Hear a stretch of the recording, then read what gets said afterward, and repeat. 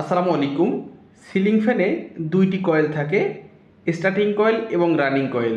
আমরা টেস্ট ল্যাম্পের মাধ্যমে কীভাবে বের করব, কোনটা স্টার্টিং কয়েল ও কোনটা রানিং কয়েল।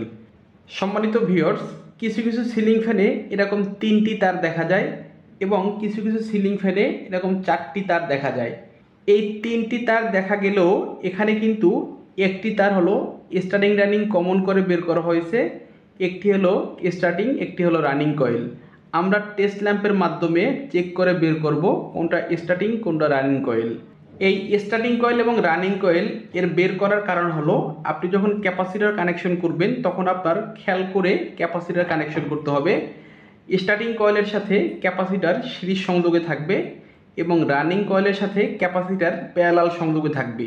অনেক সময় দেখা যায় ক্যাপাসিটর ভুল কানেকশনের ফলে মোটরের কয়েল পুড়ে যায়। সেক্ষেত্রে আমরা ক্যাপাসিটর কানেকশনের সময় অবশ্যই বের করে নিব কোনটা স্টার্টিংয়ের তার, কোনটা রানিংয়ের তার। Ceiling ফ্যানে normally two point two two point five এবং থ্রি পয়েন্ট ফাইভ মাইক্রোফ্রাট ক্যাপাসিটারগুলো ব্যবহার করা হয়। সিলিং ফ্যান যখন নতুন অবস্থায় থাকে, তখন টু পয়েন্ট ফাইভ মাইক্রোফ্যারাট ব্যবহার করা হয়। যখন সিলিং ফ্যানের বয়স কয়েক বছর হয়ে যায়, অর্থাৎ সিলিং ফ্যানের যখন স্পিড কমে যায় তখন ceiling ফ্যানে three point five microfarad capacitor ব্যবহার করতে হয়। এই ক্যাপাসিটরের মূল কাজ হলো সিঙ্গেল ফেজ মোটরকে স্টার্টিং সময় চালু করে দেয়া এবং রানিং সময়ে পাওয়ার ফ্যাক্টরের মানকে ঠিক রাখা। আমরা জানি একটি বৈদ্যুতিক রাশি আছে ক্যাপাসিট্যান্স এই ক্যাপাসিট্যান্স থেকে ক্যাপাসিটর। ক্যাপাসিট্যান্সের একক হলো ফ্যারাট এই সিলিং ফ্যানকে সিঙ্গেল ফেজ ইন্ডাকশন মোটর বলা হয়।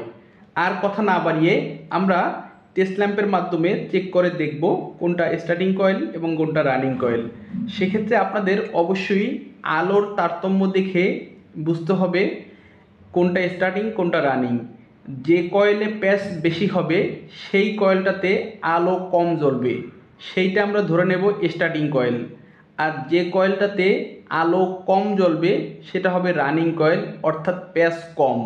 এখন কিন্তু বাতিটি পূর্ণ আলো দিচ্ছে। আমরা এক এক করে চেক করে দেখব। টেস্ট ল্যাম্পের এক প্রান্ত কমনের সাথে কানেক্ট করলাম এবং আরেকটি ক্যাবলের সাথে আর এক প্রান্ত কানেকশন করলাম। এরকম অবস্থায় বাতিটি যে আলো দিচ্ছে, একটু খেয়াল রাখতে হবে। আমরা এখন আরেকটি ক্যাবলের সাথে দেখব। এই কমনে ধরে রাখলাম, পাশাপাশি এই কেবলটাতে কানেক্ট করলাম। সম্মানিত ভিউয়ার্স এটাতে কিন্তু আলো বেশি জ্বলতেছে তাহলে আমরা বুঝতে পারি, এটি হলো রানিং কয়েল এবং এটি হলো স্টার্টিং কয়েল এই কয়েলটি ওয়েন্ডিং করেছে আমার ছাত্ররা। ভিতরে যদিও স্টার্টিং কয়েল করেছে, দুইশো নব্বই প্যাচ দিয়েছে এবং বাহিরে রানিং কয়েল করেছে, দুইশো আশি প্যাচ দিয়েছে। আর যদি আমি একটু চেক করি, এই এই যে তারটি নড়তেছে, এটি হলো ভিতরের কয়েলের এক প্রান্ত এবং বাহিরের কয়েল থেকে এই তারটি বের হয়ে গেছে, যেটাতে দেখলাম আলো বেশি জ্বলতেছে। সম্মানিত ভিউয়ার্স অনেক সিলিং ফ্যানে এরকম চারটি তার বের করা হয় স্টার্টিংয়ের দুইটা রানিংয়ের দুইটা। এর উপর থেকে দুইটার দুই প্রান্ত কমন করে নিউট্রাল এবং দুইটার সাথে ক্যাপাসিটার কানেকশন করা হয়। তাহলে প্রথমে এই কালো দুইটি কেবল চেক করি। এখানের আলোর পরিমাণটি একটু খেয়াল রাখবেন। এরপরে এই তার দুইটি দেখি। এই দুইটাতে কিন্তু আলোর পরিমাণ বেশি চলতেছে।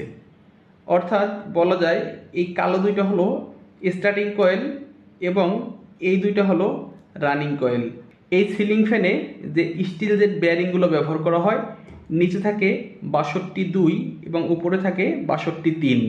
এরকম চারটি তার থাকলে সেক্ষেত্রে এই স্টার্টিং এবং রানিং এই দুইটা কমন করে নিউট্রাল কানেকশন দিয়ে দেবেন এবং এই দুইটার সাথে ক্যাপাসিটরের এই দুই টার্মিনাল কানেক্ট করবেন।